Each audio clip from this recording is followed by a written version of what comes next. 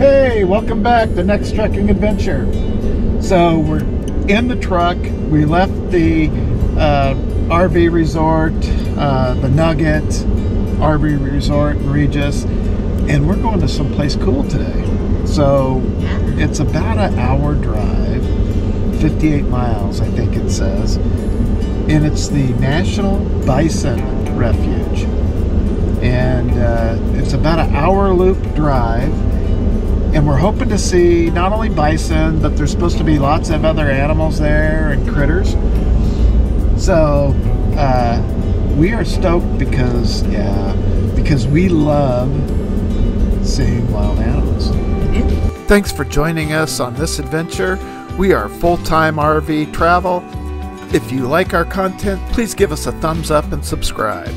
Oh, one of the things that you can do when you're staying in the area is come to the Bison Range. That's what we did today.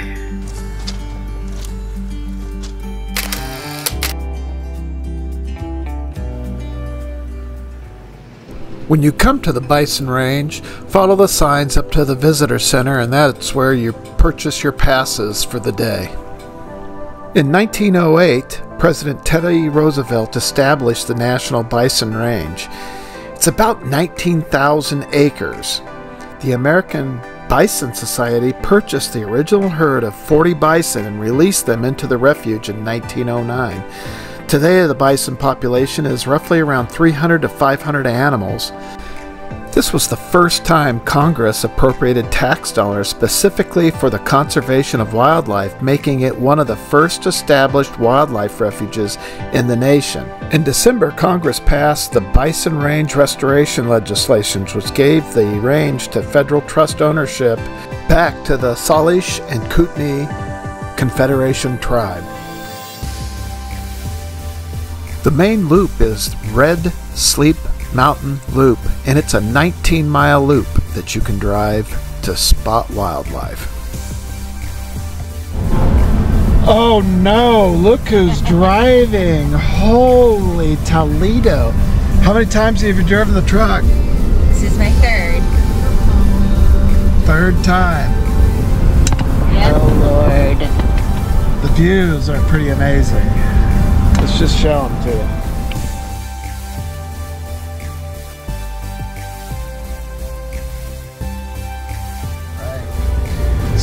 There's two roads, a short road where you can go in and out, and uh, it, that's about an hour.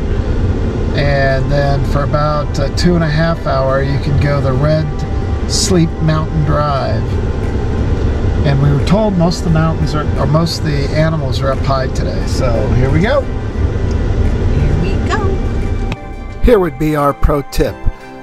Go early in the morning or later in the evening when the sun's going down. Eh, you got to give yourself time to do the loop. It's 19 miles, takes about two and a half hours. But you will have better spotting of wildlife if you go in the early morning hours. We went midday.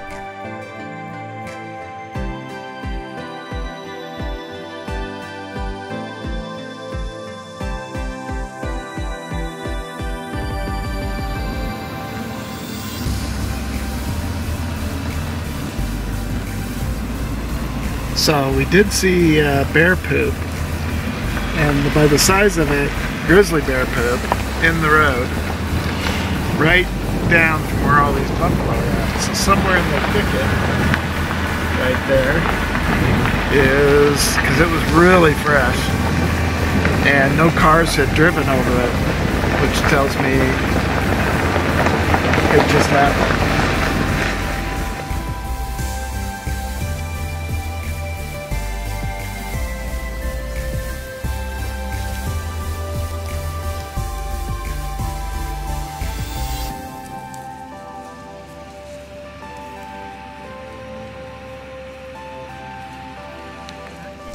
Along the way, they do have some hiking areas. They want you to only hike in designated hiking trails and designated hiking areas.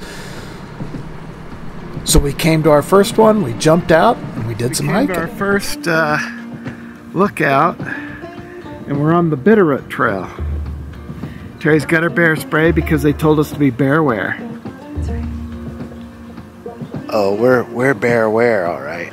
We already found a big pile of scat. Because yeah, Miss Teri found a ginormous pile of scat.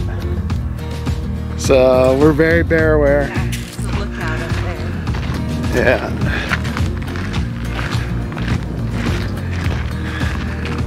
Ah, this is beautiful. It's amazing, Miss Teri.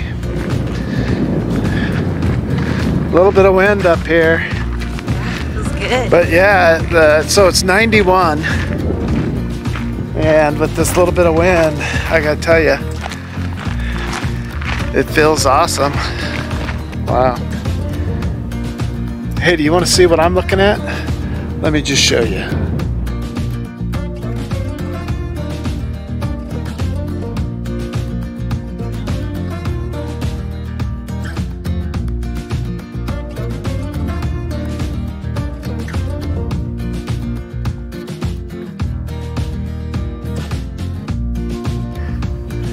Okay, now we're on the High Point Trail, and we were watching people on that ridge, from that ridge right over there, right there. Yeah, but this one's all uphill. Oh, wait, what does this say?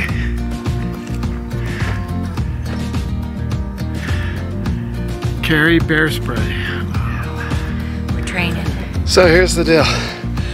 I've got I've got bear spray. Teri's got puppy spray. Better than nothing. And we do want to see a grizzly. We just want to see him from a distance.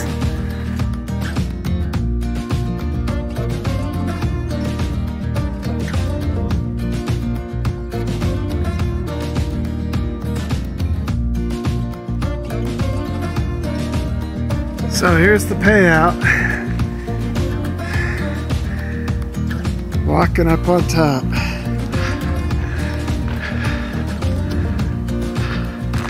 What do you think, Miss Teri?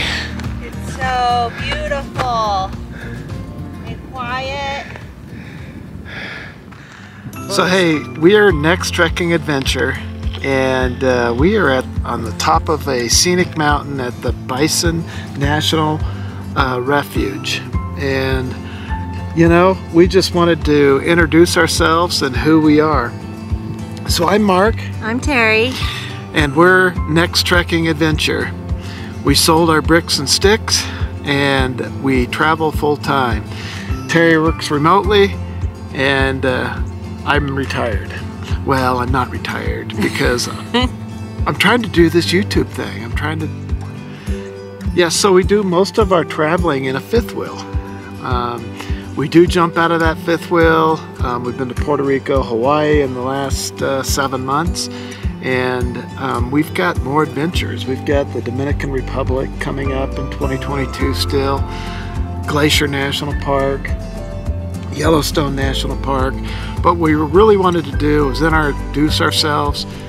So yeah, like I was saying, we are full-time travelers that love the outdoors, love bringing our water toys with us and doing things in the water, doing things on the land. And what we want to do is bring our adventures to you and yeah. So we did our hike. Yeah, Second hike. our second hike. Yeah. No wildlife up here. There's some birds. Oh, birds. yeah. You can see birds in the city, for God's sake. Sure. Yeah, so we've got about another hour still yet to drive on this uh, road. Beautiful.